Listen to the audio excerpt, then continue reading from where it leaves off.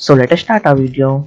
Here I have an image. I'm going to use this image as my I'll open my VS Code here and my VS Code has so now here I'll create an index.html file which is going to be our HTML file, a style.css file which is our CSS and an app.js file to write our JavaScript. And now I'll put the boilerplate in my HTML file and give it a title custom context menu and link my HTML and CSS files and I'll also add script tag and use app.js.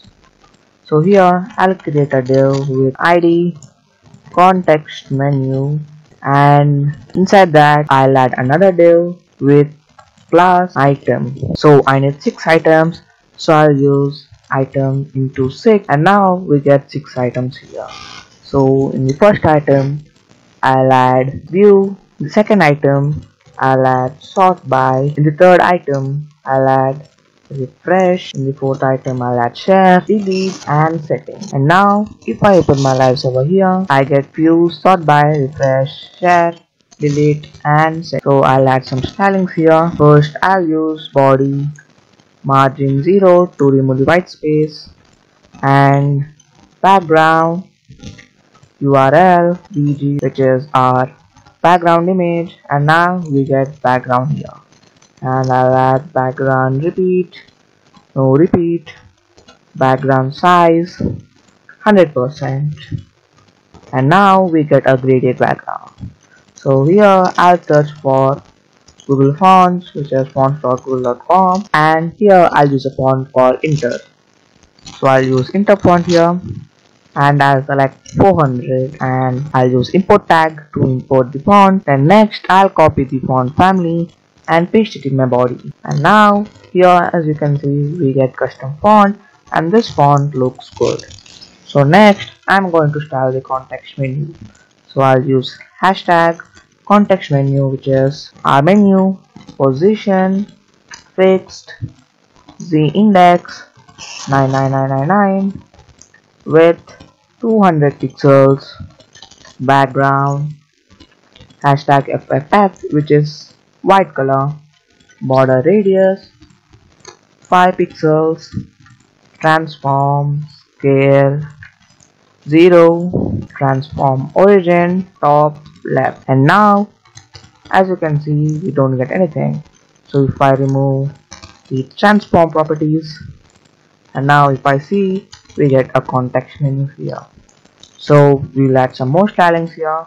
I'll add box shadow 0 pixels 5 pixels 15 pixels 0 pixels RGB 0 0 0 then point 24 which is a light black shadow. And now we get shadow and this looks a bit good.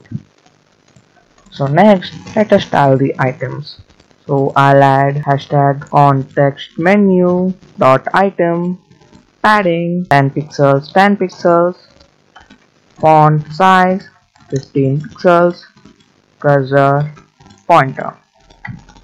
And now we get padding here and this looks good. So next I'll change the selection text. So I'll use colon colon selection background none. And now if we select the text we don't get anything. So next I'll add hashtag context menu dot item colon hover to add hover effect background hashtag f2 f2 f2 which is a light white color. And now if we hover we get hover background. But if we hover the first and last item we don't get box shadow. So to fix the problem I'll use hashtag context menu dot item colon colon nth child 1 border top left radius 5 pixels border top right radius 5 pixels. And now if we hover the first item we get border radius. But if we hold the last item we don't get border radius. So to add border radius I'll again use hashtag context menu colon nth last child 1 border bottom radius bottom left radius and bottom right, right radius. And now if we hover we don't we get border radius and this looks good. So next hashtag context menu item colon active background hashtag ddd and now if we click it we get active effect. So next i'm going to add icons so to add icons i'm going to use icon and i'll start using it. So i'm going to use the line version. You can also use the solid version but line version looks good. So i'll copy it and paste it in my head tag. Then i'll start using the icons. So first i'll search for view icon. So I'll copy the eye icon and paste it in my view icon. And now we get the icon here. So next I'm going to search for sort by and I'm going to use the filter icon and paste it in my sort by. And refresh and I'll copy the redo icon and paste it in my refresh div and share icon delete icon settings icon and paste it here. And now we get icons here. So I'm going to style this icon. So I'll add angle right icon here in my view icon and sort by icon. And now we get angle right icon in my view and sort by. So I'll add a class arrow right and I'll do the same for the sort by div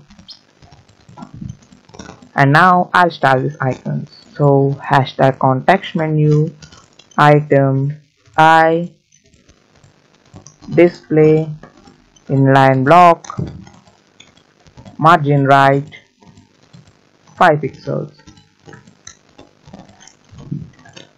and now we get margin here. Then dot arrow right dot uni icon angle right float right. And now we get the arrow icon at the right as you can see here. So now let us add javascript to make it working. So here i'll add window dot add event listener context menu function event event dot prevent default where context menu. So I'll create a variable for my context menu so I'll add document or get element my id and I'll use context menu to select the context menu. The next context menu dot style dot top is equal to event dot offset y plus pixels. Then context menu dot style dot left is equal to event dot offset x plus px which is pixels and context element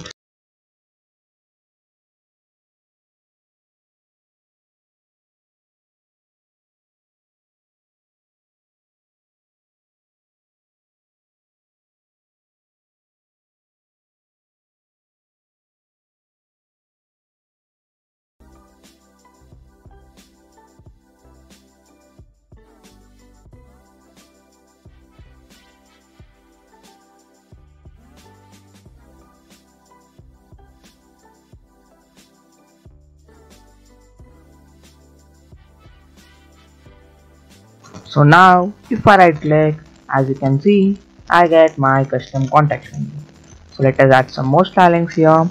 So here I'll add divider. To divide it then I'll use dot divider margin 2 pixels 0 pixels border bottom 1 pixel solid hashtag ccc and now if I right click as you can see we get a divider here so I'll copy the divider again and paste it below the refresh one and now as you can see we get custom context menu. So this is how you can create custom context menu using few lines of javascript and css. So that's it for this video. If you like this video then share it with friends. And don't forget to subscribe code with Niranjan i'll see you in the next video. Until then bye bye